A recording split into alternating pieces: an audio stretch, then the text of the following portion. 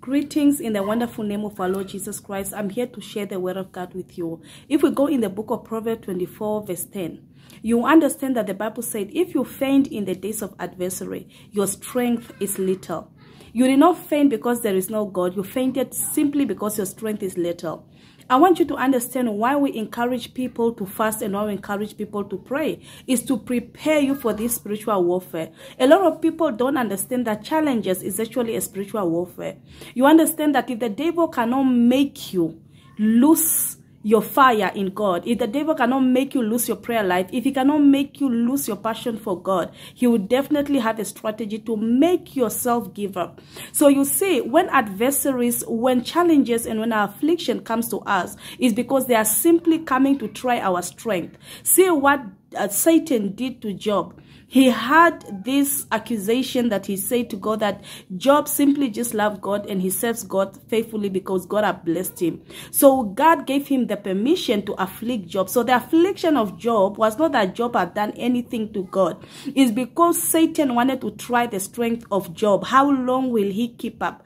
If he loses his children, if he loses his property, if he loses everything that God have given him, will he still be able to stand and say that God is my God? God? And will he be able to stand in that righteousness that God has put his confidence in Job, that Job is a man that loves him and serves him faithfully? So you see, Satan was trying to test the passion, he was trying to test actually the strength of Job.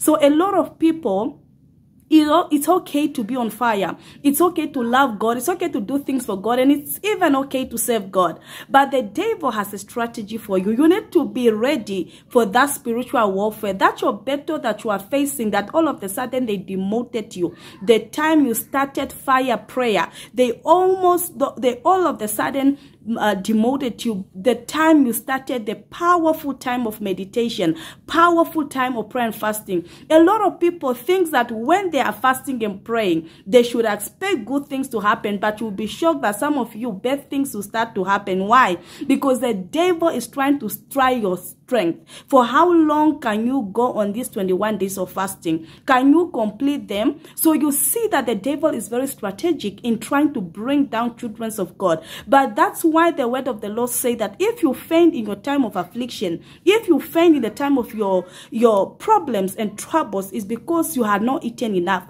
The angel of the Lord said to Elijah, eat and drink for the journey is far. So had you fed yourself enough? Had you spent more time in prayer? Had you spent more time in the word that when the day of adversary come, you can still stand and you can still stand on the strength that you have acquired in your secret place, in your time of fasting, in your time of prayer. So I want you to know that your challenge is not going to kill you. It's a battle, but then on the other hand is spiritual warfare. You don't see it. You don't see why the devil is bringing all these things around you. The day you decided that you are going to serve God faithfully, you are going to be faithful with everything that concerns God. This is why the devil is doing this thing. Why? He wants to see how long are you going to continue tithing? How long are you going to continue praying and fasting? How long will you keep up this your midnight prayer? How long will you keep up this your long fastings? For how long will you go?